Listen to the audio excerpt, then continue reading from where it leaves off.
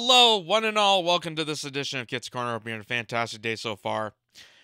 So, the United States is passing the torch of their aggression. First, it was, you know, Afghanistan, the Middle East, Iraq, and Syria and Libya, and, you know, intervening in those territories to make democracy happen. We know how well that turned out for the last 20 some odd years. And then, of course, with Ukraine being, u- being used as cannon fodder, being used as prongs to manufacture aggression to fight for Russia.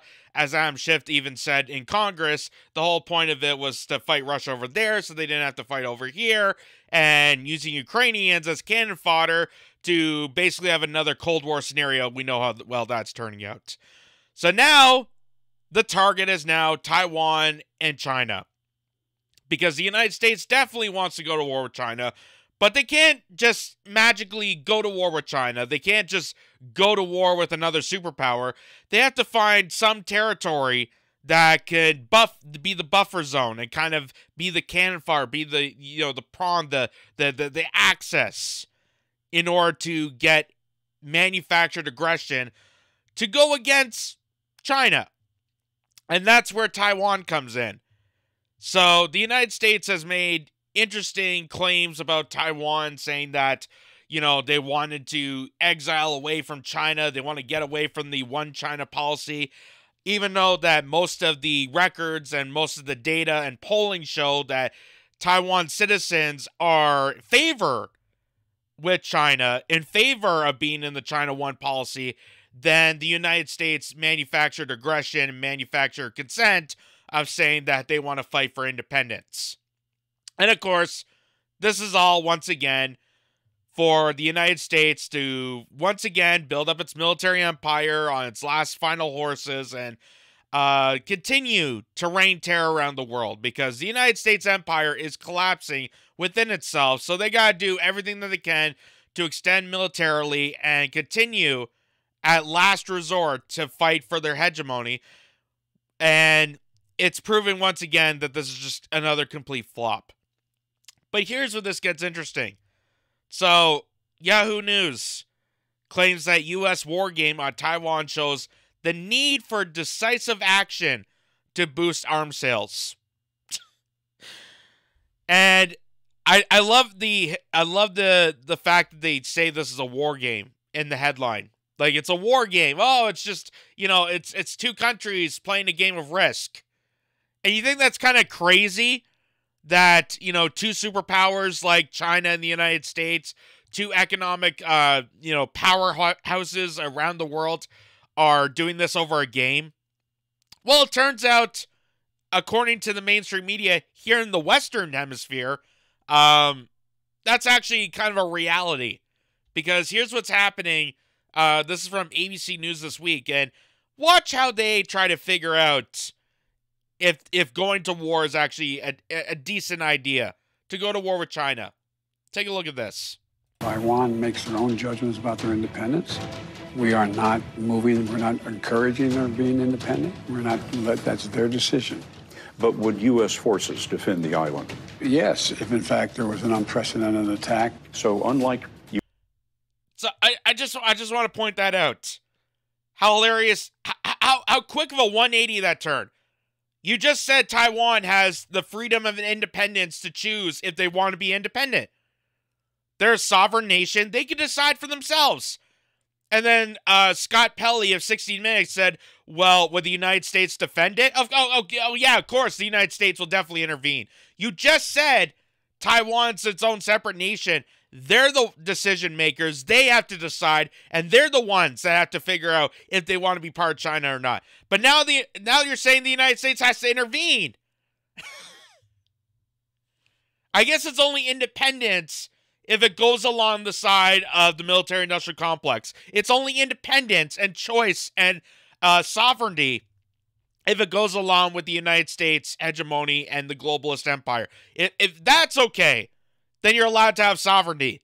But if you want to, you know, remain independent and, you know, axe out the United States, oh my God, then we're going to have conflicts. That's where we have to go in and try to bring democracy to you. There's more to this. Ukraine, to be clear, sir, U.S. forces, U.S. men and women, would defend Taiwan in the event of a Chinese invasion. Yes. President Biden last fall saying for the first time that if China invades Taiwan, the U.S. would send troops to defend it. It's an invasion many experts predict could happen in this decade. We got to. So, this is the thing I don't understand. Why would, first of all, why would China invade one of its own territories? If China holds occupation to Taiwan, why would it go to war with itself? This, how does that make any sense? how does that make any sense?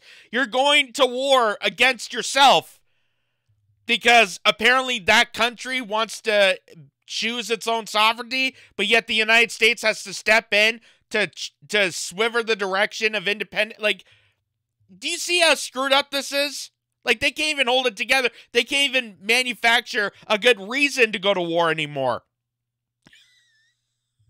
Just saying it out loud is it's, it's absurd and stupid. A fascinating inside look this week at how members on the House China Committee are gaming out war scenarios. In the sky, on the sea, China staging combat exercises, a show of force, a warning that a potential blockade of Taiwan could be coming. The Chinese army even releasing this simulation of how they'd attack the nearby island, a self governed democracy that China claims as its own territory. But on Capitol Hill this week, again, do they show the data of the people of Taiwan? That majority of the country is polling for China and the one China policy. Did they show did they ever show that? God no. God, no, because that would ruin the manufactured consent of getting into war. The same reason that they're, you know, they manufactured the narrative of Venezuela and how Juan Guaido, this guy from George Washington University, is apparently the president of Venezuela, even though nobody knows who this guy is. And in fact, nobody knew who he was, continues to not know who he is. They got booed out of a restaurant because the United States continues continues to flop at every point in turn to try to change countries at the at, at, at the whim of a hat trick. Like they think this is a cakewalk of four like 4D chess. Oh, we're just gonna move things around and that's how, you know, foreign affairs is just gonna work with us. After you just said that Taiwan deserves their independence. Well, if they deserve their independence, shouldn't they decide whether they want to go to war? Shouldn't they decide to fight for their freedoms? That's kind of the point of a sovereign nation. Taiwan has their own army, China has their own army. That, you know, they'll figure it out. Why is it our responsibility to build this up to to anger even more? Well, you'll see why in a second, but uh, let me show you this. Lawmakers staged their own simulation. Tonight is not about a desire for war. It's certainly not about playing frivolous games.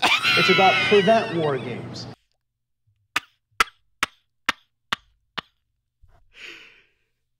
As they bring out board games to simulate war, because they have a desire to actually go in combat. It is utterly hysterical. Utterly hysterical that this guy, I don't know who he was, but I'm assuming he was a senator, can literally say that on camera as the next shot, literally in front of him. They have literally a game of risk being pulled out because they're desirable to go to war. And there's and, and, and, he says on camera, "Oh, this is not about a game. This is not about our desire to go to war. We're not playing board games here." Okay, roll out the dice.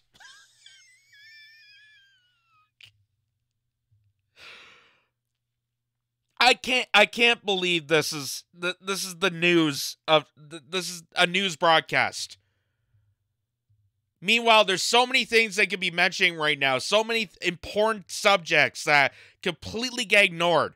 Like the fact that, you know, half of American cities don't have access to clean water. Do they ever mention that in a program like this? God, no. But are they going to show?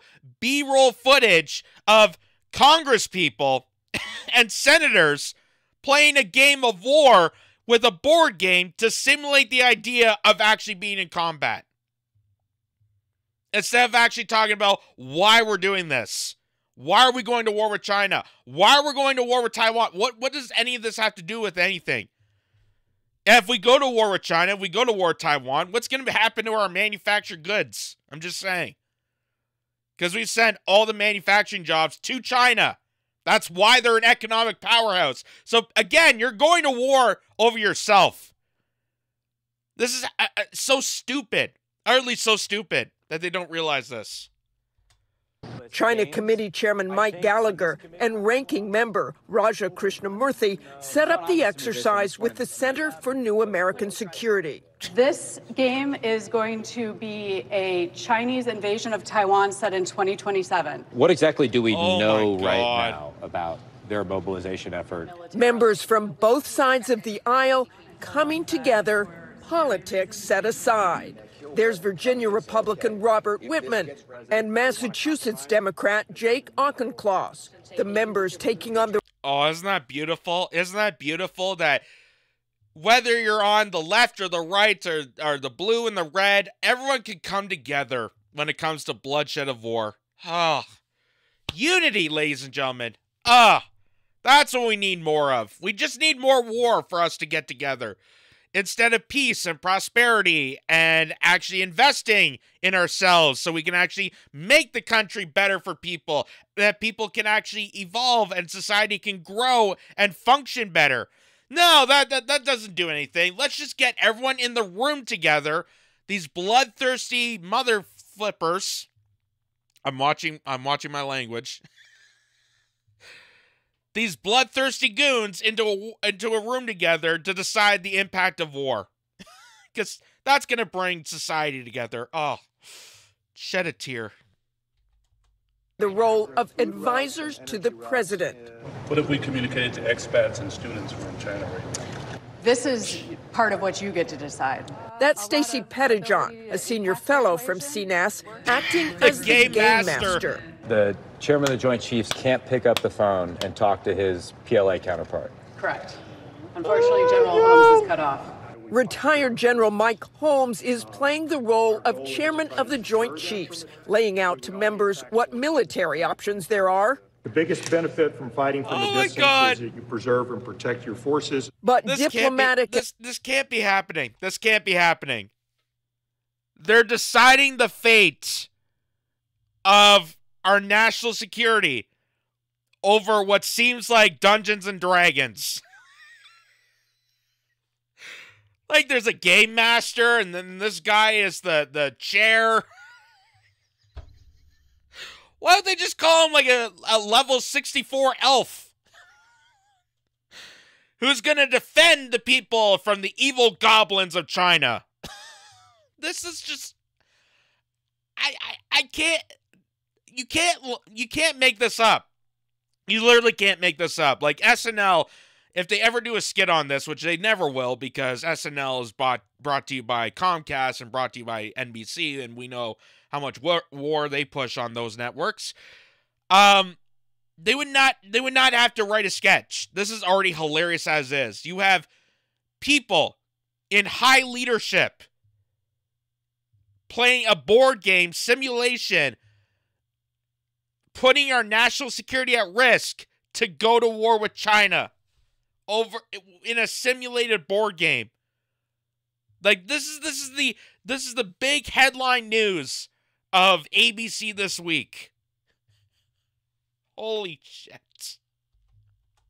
And economic options are on the table as well. Many of our allies agreed to take part in economic activities with us um, as a precursor to these conversations. Has there been any activity at the United Nations yet?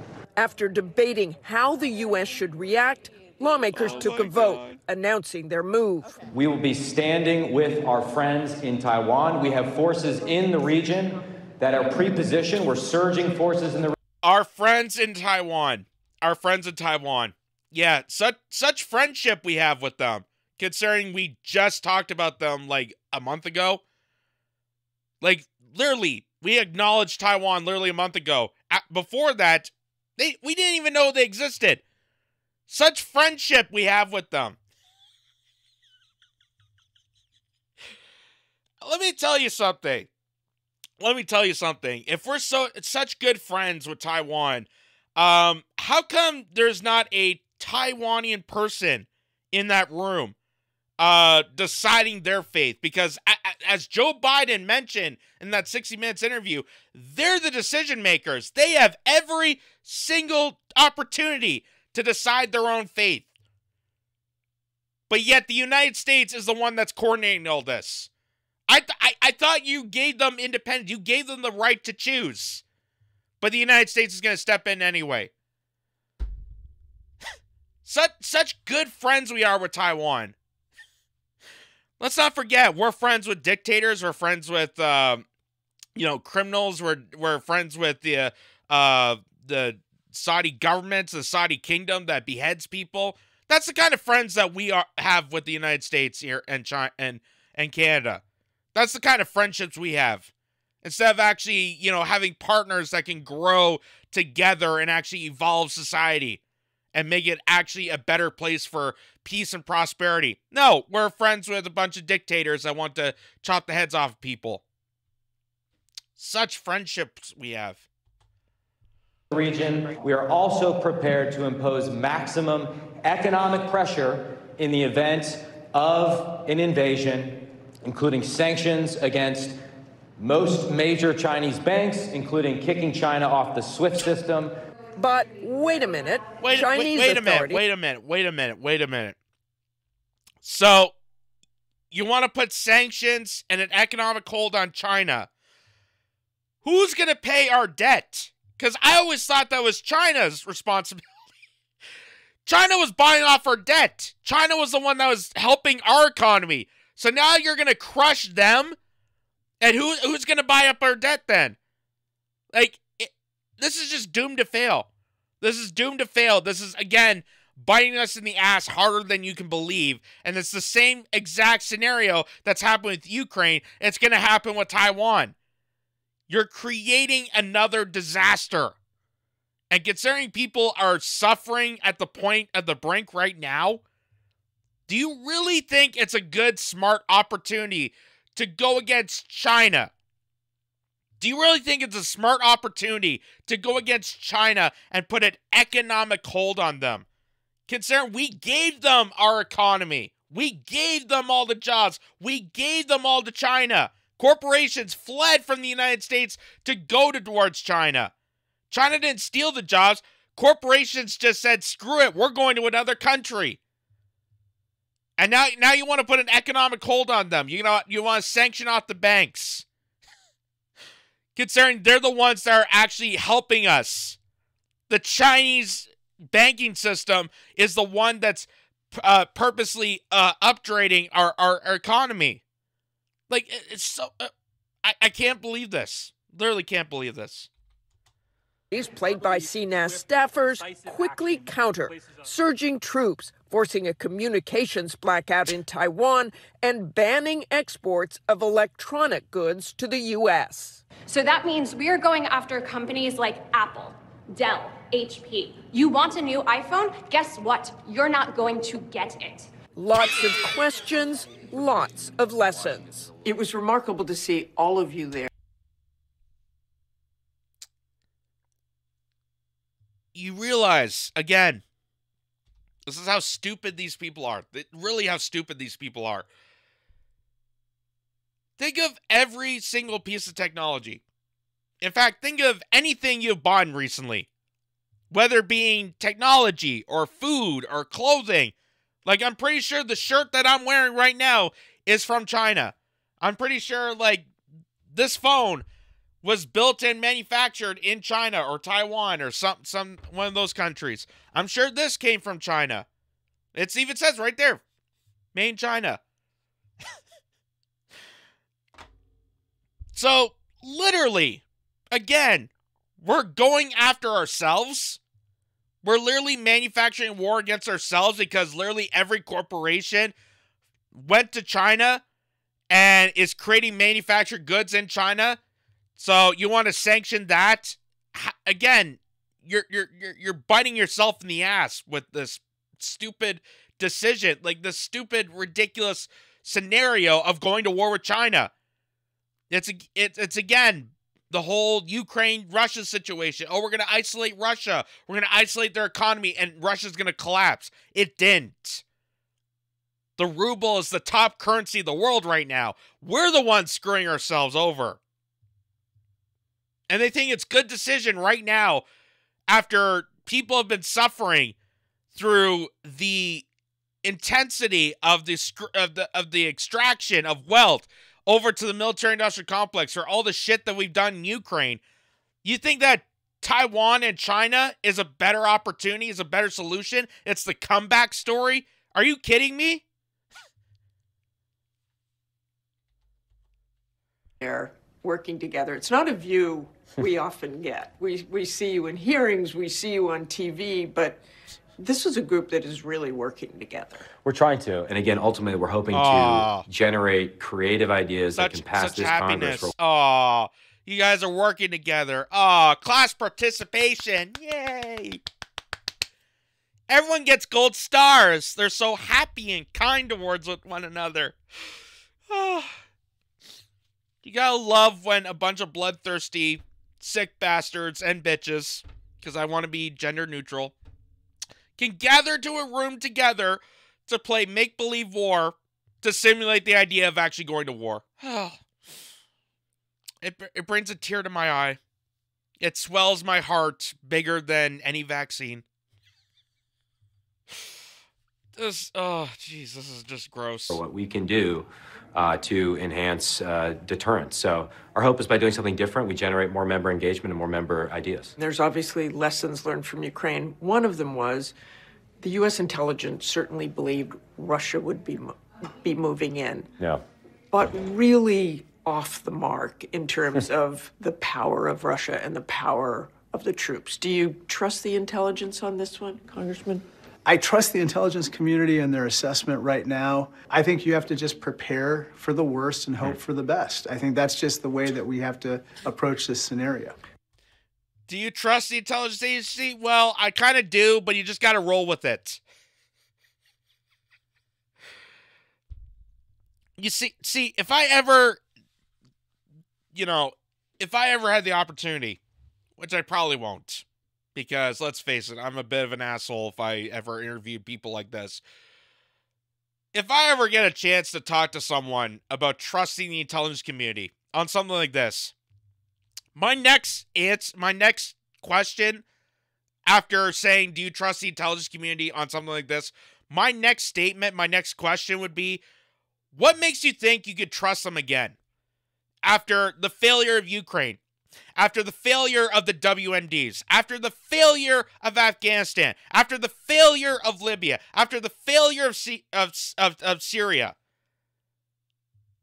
after the failure of the first Gulf War, after the failure of Vietnam, do you, again, where exactly can you trust the intelligence community? You can't, and you shouldn't, period. So I, I love this. I love how he's he has to again, he has to go with it because he doesn't want to lose his comfy position as a congressman. So of course he's going to say, "Well, I I got to trust the intelligence community because I want this job, but I don't know, I got to roll the dice cuz you actually made a valid point in the fact that Russia's kicking our ass right now when it comes to Ukraine and with the Pentagon papers, now we can acknowledge that uh we're losing this battle."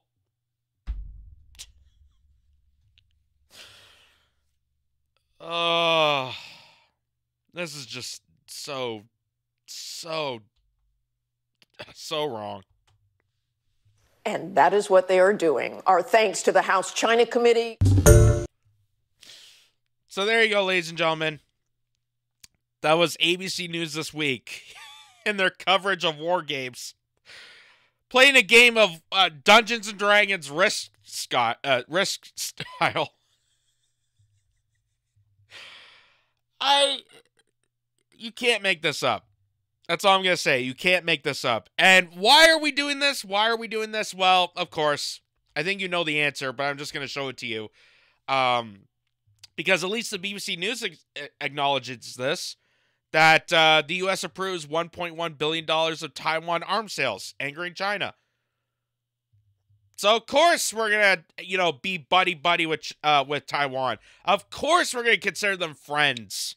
Of course, that's to gather around a group of people and and and and, and putting politics aside and uni- unifying Congress people together to do bloodthirsty rage of war. Of course, that's to happen because this is all about the military industrial complex. This is all about the U.S. empire on its last legs, trying to expand militarily all around the world, which is how failing empires start. They go over the brink when it comes to militarism and then they fall between the cracks. They they they crumble within. And that's what's happening in the United States. You're seeing the e- economy collapsing within itself. And what's the United States response to it? Instead of helping the economy, instead of investing back home and helping the people in their own backyards, they're going to send all the money to more warfare. Because if you're going to go down to hell, you might as well go kicking and screaming. At least that's how the United States approaches this. China, on the other hand, will actually invest money in, I don't know, uh, high speed rail. You know, those sick bastards, those sick, evil bastards. How dare they invest in transportation and road work and make a peace deal with two terrorist states. How dare they do something like that? And of course, all those Congress people are probably going to go back home, turn on their iPhones, listen to a bunch of music, and, you know, read a Kindle that was made in China and uh, watch a Samsung TV. I mean, the joke literally writes itself. That just how stupid and hilarious this all is.